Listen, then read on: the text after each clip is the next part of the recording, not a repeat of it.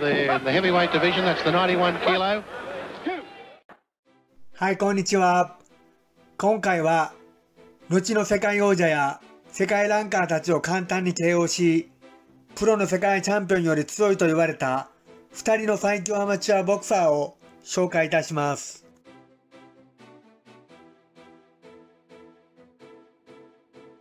8歳からボクシングを始めたテオヒロ・ステベンソンは、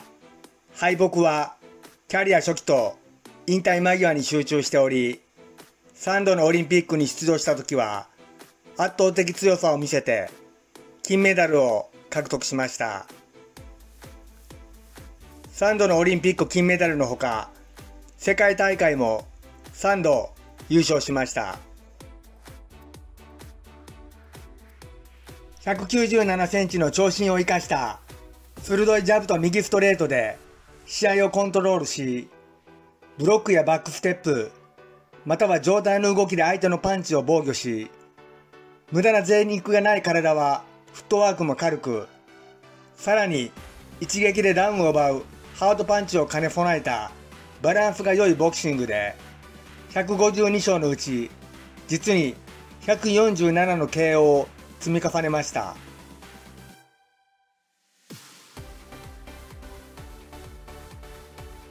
後にプロで世界ヘビー級王者になったグレッグ・ペイジゲリー・コッツィジョン・テイトマイケル・ドークスたちも簡単に KO しました。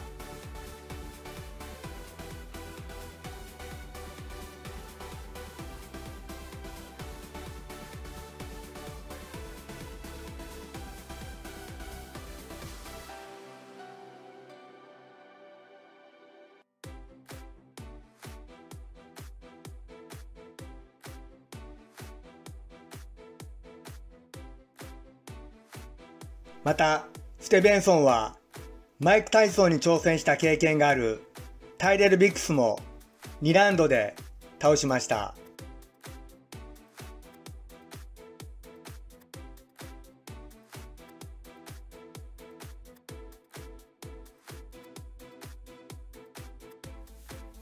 ステベンソンはモハメド・アリやジョージ・フォアマンと同時代に活躍したのでドンキングなど大物プロモーターからキューバから亡命しプロでビッグファイトをして大金を稼がないかといった誘いが常にありましたが私は祖国も家族も愛している国を捨ててプロになる必要はないと言って断り続け引退後はキューバのサトウキビ畑で汗を流しました。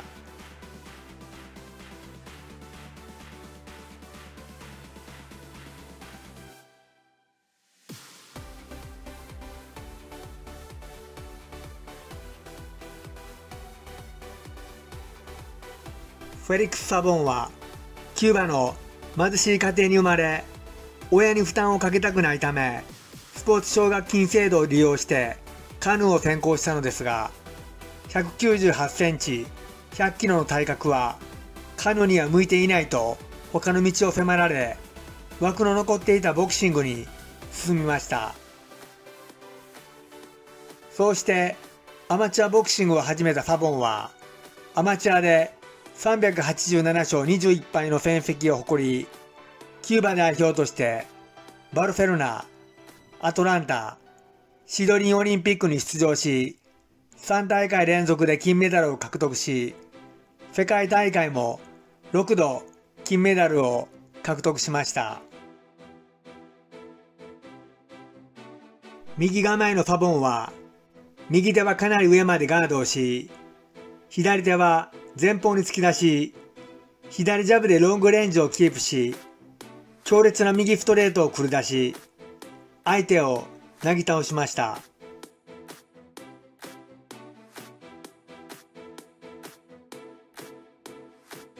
対戦者には、後にプロで活躍するアンドリュー・ゴルター、レイ・マーサー、アクセル・シュルツ、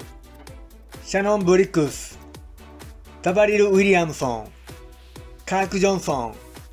レーモン・ブリュースターたちがいますが、いずれもサボンが勝利しました。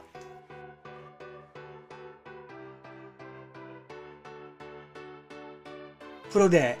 60勝 53KO し WBO 世界ヘビー級王者にもなったブリックスはサボンに KO され元 WBO 世界ヘビー級王者ブリュースターもサボンの強烈な右で意識を飛ばされました。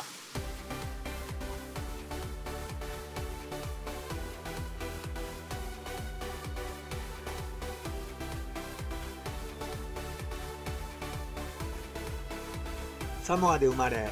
ニュージーランドで育ったデイビッド・ツアーはアマチュア時代にオリンピックで銅メダルを獲得いたしましたプロ入り後は剛腕から繰り出されるパンチで KO を量産しジョン・ルイス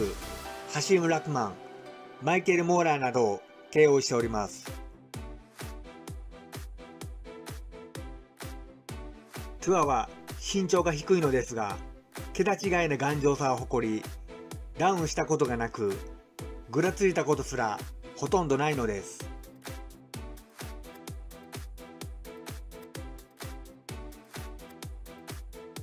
全身を使って繰り出される剛腕は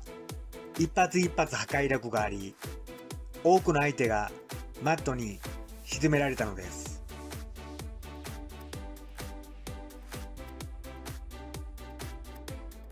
残念ながら世界王者になれなかったのですが関係者からの評価は高く2003年にリングマガジンが発表した史上最も偉大なパンチャー100人に選出されましたプロキャリア58戦で一度もダウンしたことがないデイビッド・トゥアですがサボンはたった22秒で頑丈なツアーを KO しました。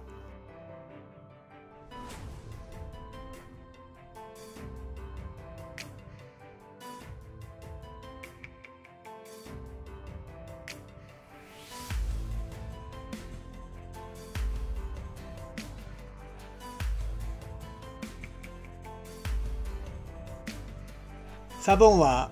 ステベンソン同様キューバから亡命してプロのリングに上がればすぐに世界王者になれると言われ